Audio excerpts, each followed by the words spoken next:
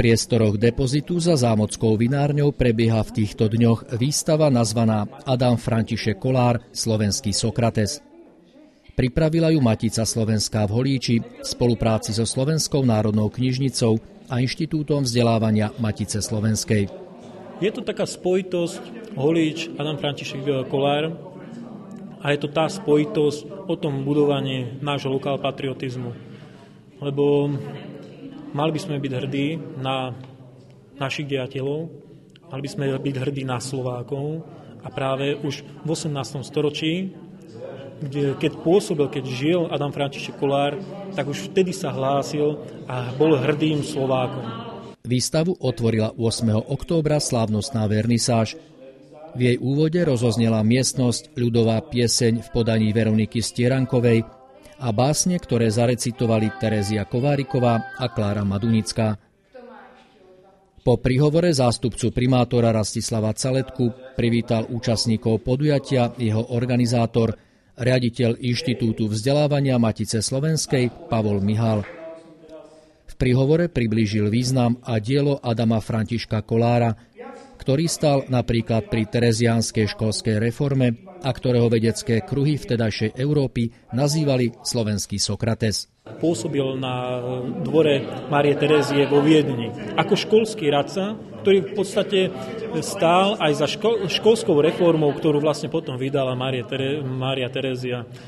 Na Slovensku určite aj dneska žije veľa ľudí, ktorí by veľmi radi preniklo do sveta, ktorí by sa chceli vo svete presadiť, ktorí by chceli byť osobnostiami, ktoré dokážu urobiť rodnej krajine dobré meno, dobrú povesť.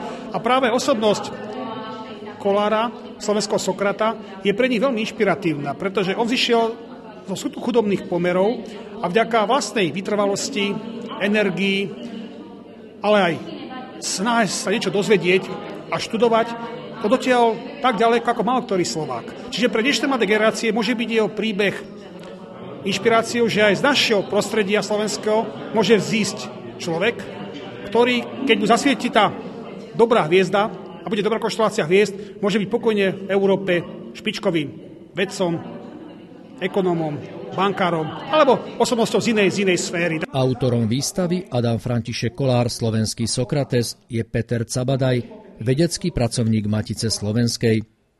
Ide o putovnú výstavu, ktorá sa po svojom otvorení v Terchovej a následných prezentáciách vo Viedni a Eisenštate dostáva aj do Holíča. Ada František Kolár sa podielal na vzniku mnohých európskych inštitúcií v Rakúsku, na Balkáne, v Čechách a bol to človek, ktorý svojim dielom e, predznamenal neskoršie prúdy a tendencie európskeho školstva, vedy a vzdelania.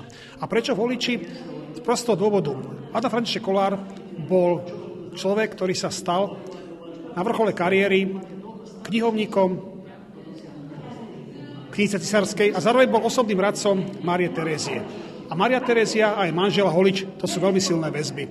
Takže preto Ada František Kolár sa logicky ocitol v tomto prostredí ako osobnosť, ktorá mala blízko k Palonickému dvoru, ktorá ho mnohom inšpirovala a nevylučuje, že Ada František Kolár mohol navštíviť aj Holič v časoch, keď konzultoval s Marou Tereziou svoje predstavy o reformách uhorského školstva. Expozíciu tvorí bohatý faktografický materiál doplnený dobovými snímkami.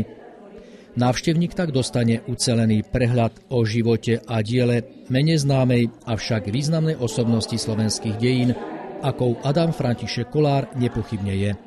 Keď sa urobí takýto typ prezentácie, urobí sa moderne, originálne, atraktívne a dokonca je aj manažovaný, tak mnoho ľudí, nielen na Slovensku, ale vo svete si vlastne uvedomí, že z tohto slovenského prostredia fakt vyšli osobnosti, ktoré mali a majú čo povedať aj dnešku. A to bol ten môj hlavný zámer. Atraktívnou formou predstaviť osobnosti, ktoré sa vo svete presadili.